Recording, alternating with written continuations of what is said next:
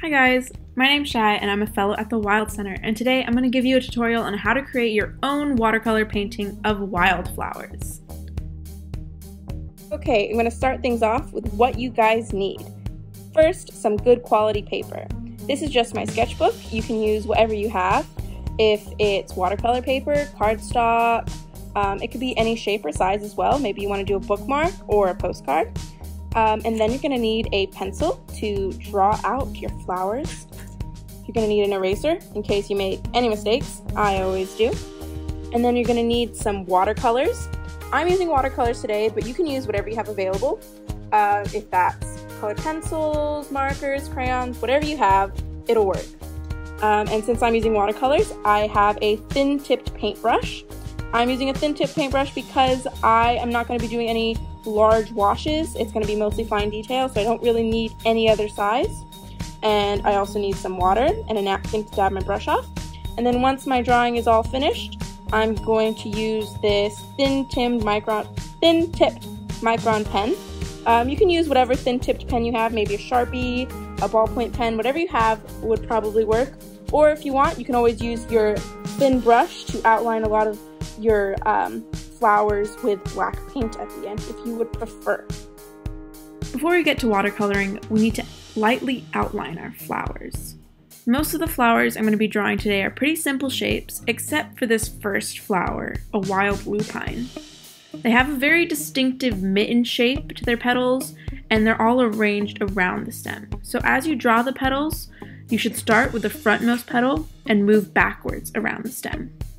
To help you achieve the right perspective for each petal, hold out your hand in front of you with your fingers straight like you're wearing a mitten, and then turn your hand in the angle that the petal would face. This will give you a general shape of what each petal should have.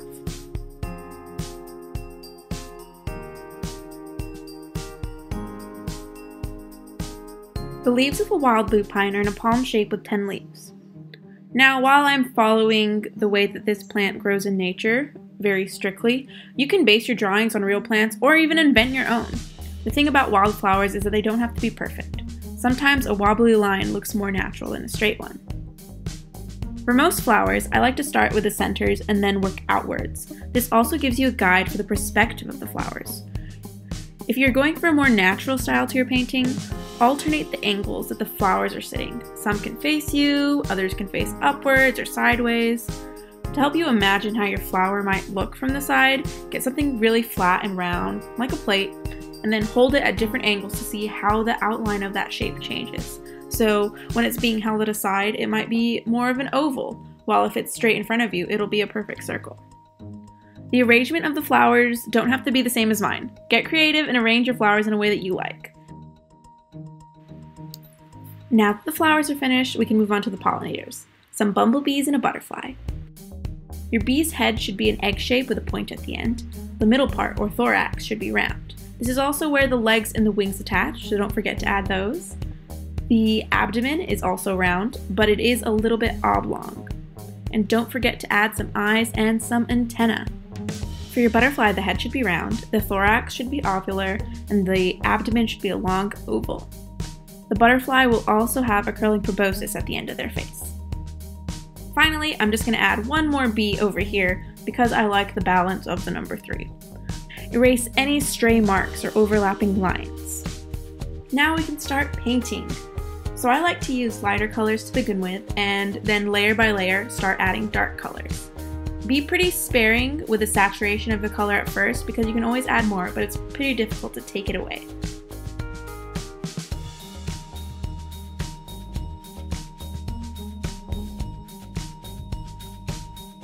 I like to paint all of my flowers first before I do my leaves and stems because usually they're not overlapping a lot of things and then my leaves and stems are gonna be all green anyway and so it's easy to adjust between greens.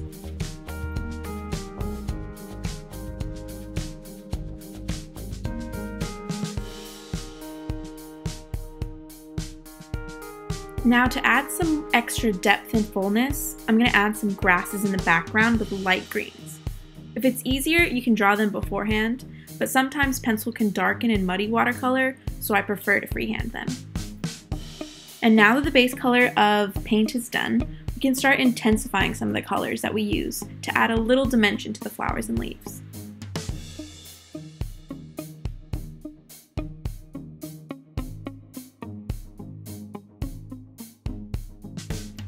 And when you're painting your bees, make sure to let the yellow dry before you add the black stripe so the colors don't bleed into each other.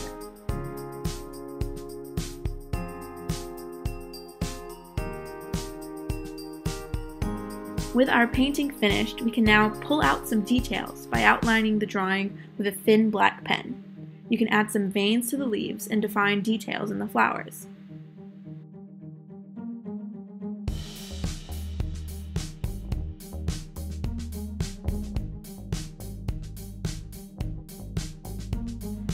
With the pen, you can make your insects really pop.